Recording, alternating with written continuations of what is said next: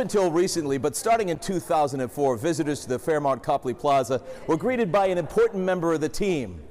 And this is where she slept. It was a Labrador by the name of Catie. Catie's no longer with us, but she will never be forgotten.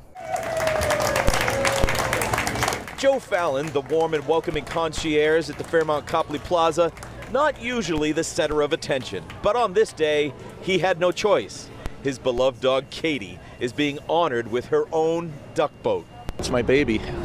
A few weeks ago, the lovable black lab passed away, but for years she served right alongside Joe in the lobby, welcoming visitors not only to their hotel, but to the city of Boston as well. It's been a few weeks already, and uh, it still it still hurts sometimes. So, in tribute, the employees of Boston Duck Tours decided to rename the Copley Squire to Catie Copley.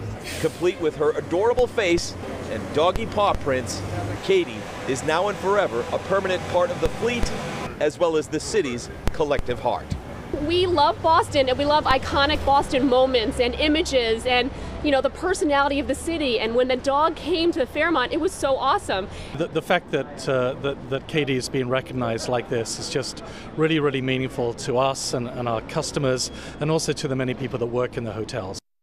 Piece of my heart is gone right now so yeah she's uh, she's up there watching over the city right now so she's doing all right. Catie's expected to go into service tomorrow morning, and we're told if you see Catie out on the streets of Boston, the heck with the quack. Make sure you give her a friendly woof. In the Back Bay, Doug Meehan WCVB News Center 5.